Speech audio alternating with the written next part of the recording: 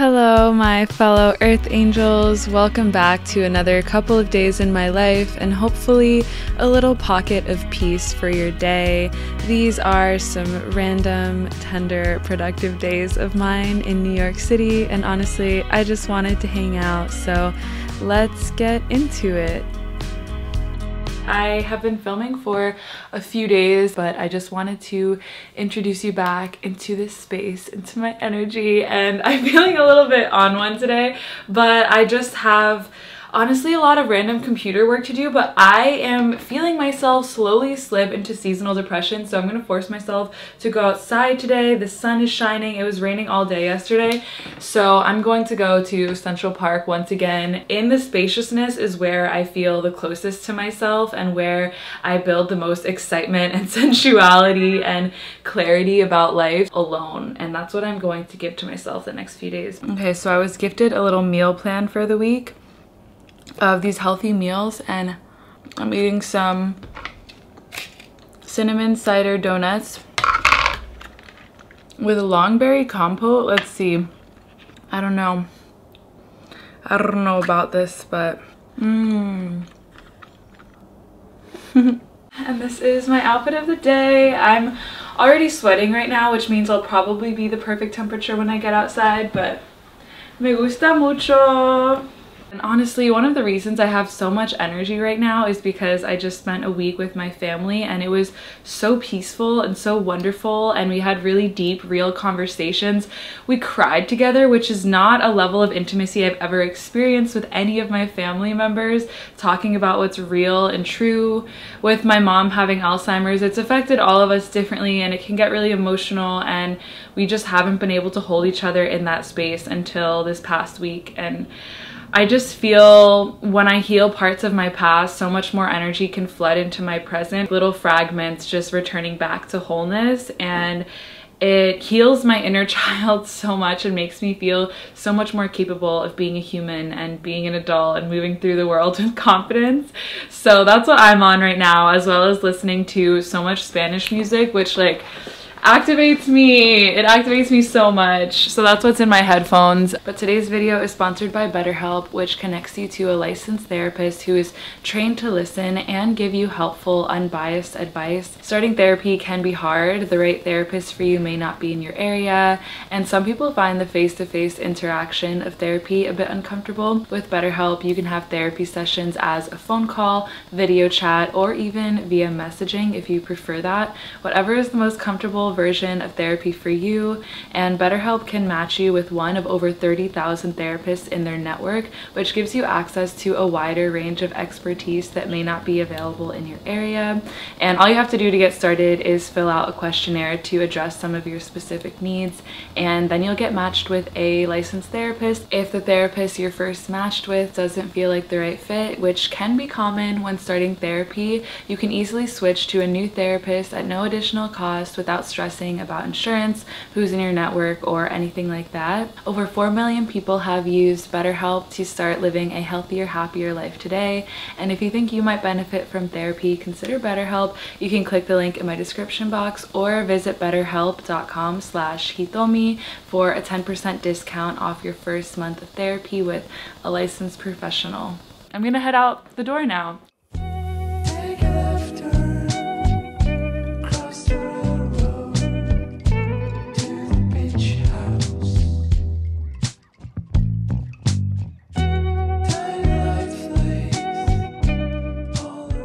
I'm going to do some mantra. I brought my mala beads and I thought I would do 108 rounds and then just do some journaling. This is a date with myself. This is self-intimacy, which is so important to me. This feels kind of funny and just me in meditation in this big ass coat in New York. It's just you can take your practices anywhere. You can embody the highest love and truth anywhere you are and it doesn't have to look any type of way. All you need is your knowing heart.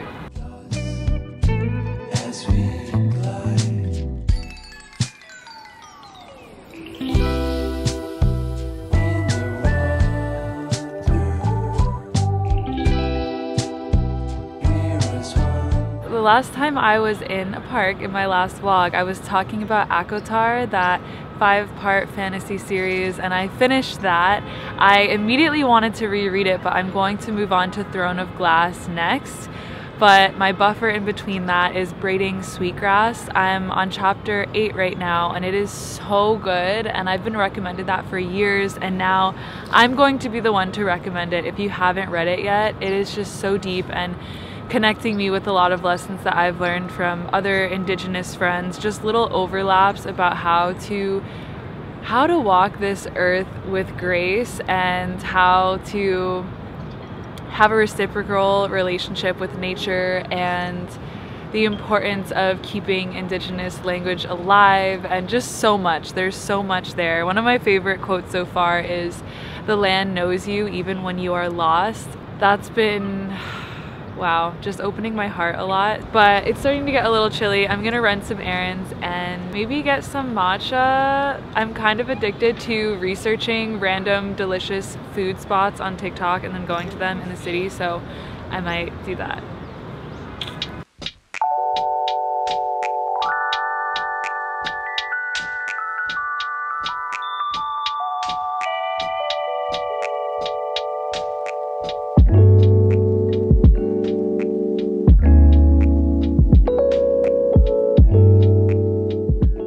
Talked to a stranger on a small restaurant bench. No more than 200 square feet contained the hole in the wall onigiri spot, where women behind a counter called out names periodically, and indie music blared on the speakers as my soundtrack. It was warm enough to remove my layers and be sat shoulder to shoulder with the five lucky strangers who made it onto the bench for waiting. I feel at home in the forced intimacy of small spaces, especially in New York especially when I hear Japanese being spoken all around me. I've been trying not to use my phone to pacify boredom. I've been trying to talk to strangers more, which becomes a drawbridge for new worlds I would otherwise pretend didn't exist. And I've been vocalizing every compliment I hear in my head about people. It was nothing crazy, a simple question, yet also a drawbridge. Have you been here before? We got to talking and found out we both discovered this spot from TikTok, shared our secret shame at our source of intel. We got into banter about simple things, but it was the feeling of it all. For perhaps the first time, I wanted to talk to a stranger because I thought it would amplify the unrepeatable moment. And it did. How can a basic conversation bring me into a subtle euphoria? It's because I want to live because I want to experience everything in every moment and I feel unhindered by my shyness or smallness. I feel free to act on my curiosity and to be the kind of simple warmth I always imagined. It wasn't just a conversation, it was being here, now. Every time I talk to strangers, it uplifts me, and I just never thought I would feel that way. Still, post a complete and utter depression where I'm feeling excited about life, excited about connecting with people, and confident enough to make that drawbridge connection with a stranger and just be like, hey, what's up? Like, I just never thought I would be that person. And I would look at other people in the world who would banter so easily. I didn't even know how to do small talk, and I don't like small talk, but I didn't even know how to do it for most of my life and now I know how to do it and it can be a preliminary to deeper conversations but feeling new feelings revolving around being excited to live and exist in each unrepeatable now moment now let's rewind to two weeks prior when I was in my little sublet in Bed-Stuy. I got this place to film and have some space away from my dad's apartment. I just dropped into my regular routine, doing a little bit of stretching and asana in the morning a little Pilates class here and there. But honestly, I was working on quite a few videos this week and felt on the brink of overwhelm throughout every single clip for the rest of this video. But I just wanted to share what's fully real and true for me, even though my version of overwhelm or meltdown is just very tame. It's really just me feeling a constant urge to scroll on my phone and be procrastinating rather than present. But I don't act upon that. I act in opposition to what my limiting belief systems ask of me, and I make it through the day. But I just had a bunch of random errands to run this day and was honestly reflecting on love so much. I think that's one of the biggest gifts that my friends bring me is that their lives are a living expression of freedom and their love is so boundless. I have personally felt myself fall into the role of what other people expect of me in relationships. I feel so free when I just claim and honor who I am as a lover and what I desire, which isn't always just full monogamy and just a conventional relationship. I just want people to be themselves and to be honest, and that is love to me. Like intimate moments of spiritual nudity is what feels most interesting and exciting to me right now, beyond just having someone devote their whole being to me, I just want someone to be honest and become by my side. And I'm not seeking anything, but I feel like every time after you go through a breakup, you refine more and more of what you're looking for in general or what love means to you. And it felt very appropriate to go to this gallery with my friend Chloe, who declares herself an eternal student of love and is in a very similar place in life. She has a shirt which she embroidered all the names of her past lovers on and has been reconnecting with a lot of them, seeing what reflections they have for her and how she can use that as a form of service. and uh, I also went with my ex, so it brought up a lot of interesting conversations and it was just a beautiful end to the day, a full circle moment. And I just feel like I'm learning to be more brave because I'm learning to be myself despite what anyone might expect of me or want to hear from me. But here's a cobbler haul. I am so excited that I got these boots fixed. So these are secondhand Frye boots. I wore them so much. They started to get destroyed. They put this little heel attachment on the bottom because it was getting really worn. They cleaned up the suede and they reattached the boot to the base. So these are revamped because I glued this shoe back onto this base so many times and it kept coming off. It was not cute. That was the reality of these boots. These were also super worn in the heel and in this front part, the wood was starting to like splinter almost. And so they fixed the sole. I can't believe it. They put a Vibram thing on here and they're good as new. They polished them and I just love a cobbler. I love a trade that is so timeless. And these boots, I wear them so much, so it was so worth it to get them fixed up. Shit just got so real, got so good. I'm about to eat some leftover Ethiopian food. I have my injera, and I love all the beans, all the flavors, all the sauces, the consistency. It's so good. I have mushroom, chickpea, and cabbage here. Wow. And I'm gonna read for the next 30 minutes until my meeting. So this is how navigating life right now. Life is so not serious. Emotions are so not serious. Heartbreak, I mean, ultimately, it's not that serious. Okay, no, heartbreak is actually really deep. I just had a really intense conversation with my ex today, and that was so heavy. But then you just sing about it and you learn about it and you keep on loving. Love never dies. I believe that even when love ends with a particular person, you still carry so much of them with you. Yes, the bad uh, at times, but also the good. And everyone that we love informs us how to love better, more truly, you know. A lot of times you just learn what's actually important to you and you can take that into every other partnership. So everyone has an offering. Everyone is an offering in our lives as long as they're being authentic to themselves. And I've certainly learned a lot about love from this past relationship and it's been life changing and I feel so close to myself because of that.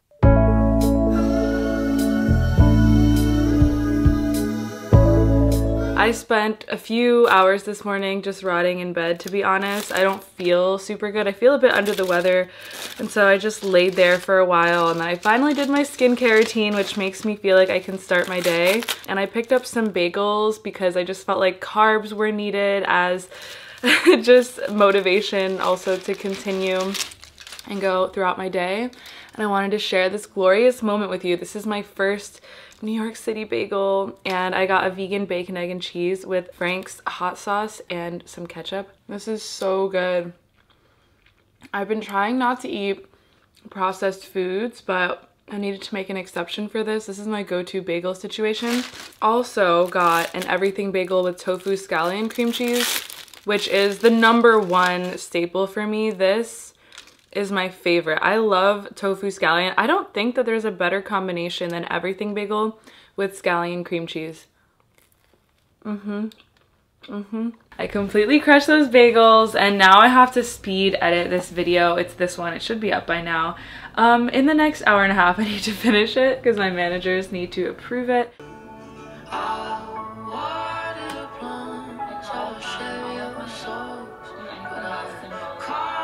Somehow I managed to pull that off. I'm gonna export at this cafe. I have my laptop in here and I'm gonna head out for my meeting. It's actually regarding a potential book and mostly just learning how to go about the book writing and publishing process. Mostly just the formatting of it all because I've always wanted to write a book. I have these chapters in my mind. I have these things that I want to share, but I don't know how to format it and how to begin that process. So I'm gonna go right now. This is a very proper outfit, the cardigan with this little top and skirt.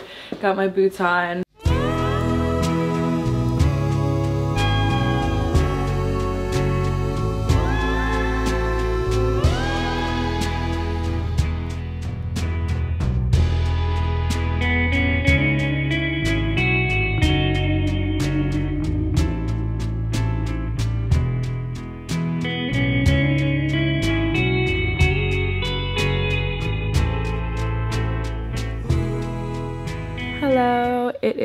2.30 right now. I filmed this video. I'm editing it right now and hopefully gonna get it uploaded in the next hour for approval from my managers. I'm just kind of stockpiling and finishing some sponsored videos before I go to my grandma's house and can't film. So that's why I've been working on like four videos this week, which is wild. But I'm going to dinner with my friends tonight. I actually organized a chef to cook us a Szechuanese meal. I just wanted to treat my friends because I love them so much and I haven't been able to prioritize them as much as I want to. And then after, my friend Chloe and I are going to a little jazz club. It's this place called the Red Pavilion that has a lot of Asian events and it's it's a cabaret show and they just have really cool themed Asian events. Like they had a Studio Ghibli night. Tonight is based on the movie In the Mood for Love, which is an incredible movie. That's what the jazz vibe is about. And I'll see you when I'm ready. I'm wearing my Cariño dress. I had a really cute necklace on. It was this one all wrapped around Hello, it is almost 5. I'm exporting my video and pretty much ready for dinner. I thrifted this top and I love it so much. It's very in the mood for love. I'm just wearing it with my trousers and I really wanted to wear it with these heels but I just think that my toes will be way too cold. But yeah, this is my little look. I'm kind of catching my breath a little bit, so I'm excited for my commute, my train ride.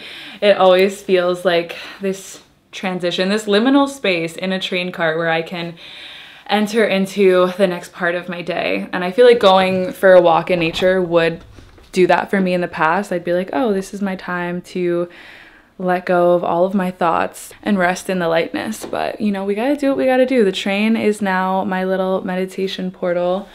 I don't know if I like my hair like this. I think I'm actually Yes, this is much better. I've been giving myself blowouts in case you're wondering what is going on with my hair. Okay, I'm gonna head out. Okay, so I left really early and I don't want to get there and just bother the chef, so I decided to sit on this little stoop and finish my journal entry of the day.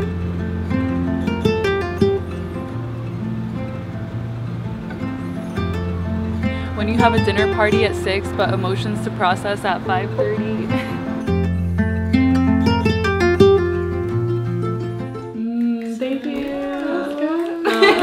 Felt appropriate.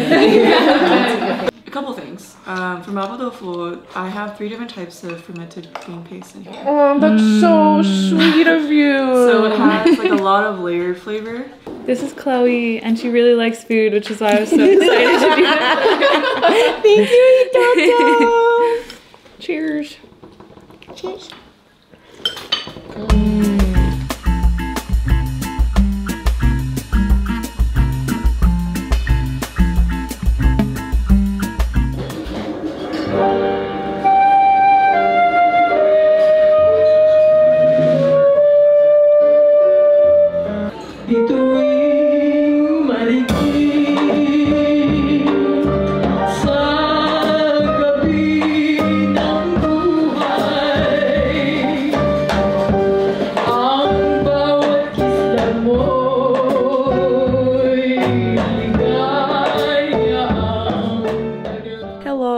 Next day. I've been editing this whole day so far. It's about noon.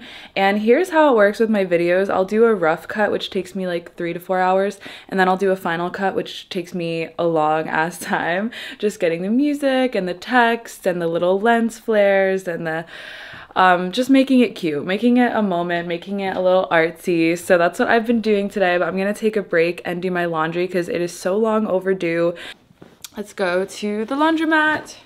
This is my outfit of the day. I just want to be so comfortable. I have mismatched socks with my little loafers today.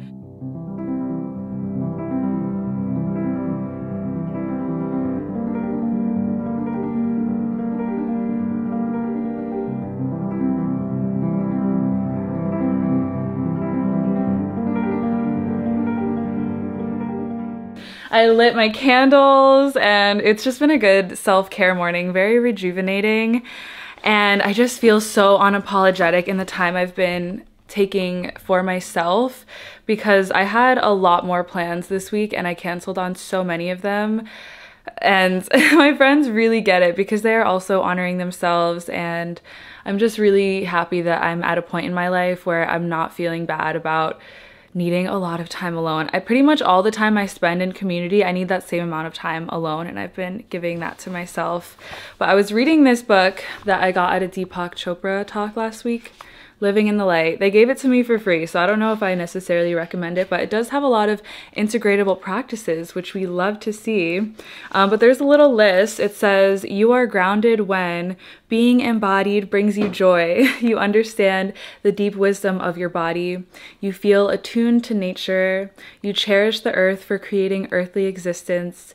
You feel unembarrassed by basic bodily functions. You appreciate other people's earthiness. You feel stable and steady during periods of change. You experience equanimity in the face of aging and dying. Your sensual and sexual life is gratifying without prudery or shame.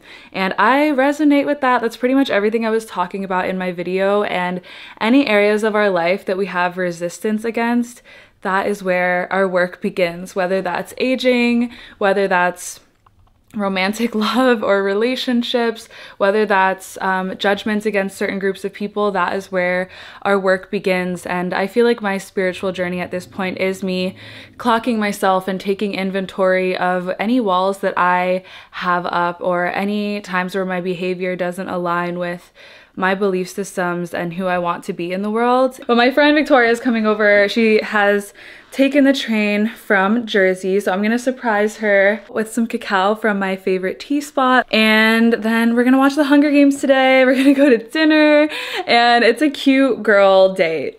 I'm so excited. This is my really random outfit of the day. I'm wearing my Earth Angel skirt, a top that I thrifted, my boots, I'm wearing tights today, which always make me feel like I'm in a theater production. That's that on that. I'm gonna put my little coat on and head to meet Victoria.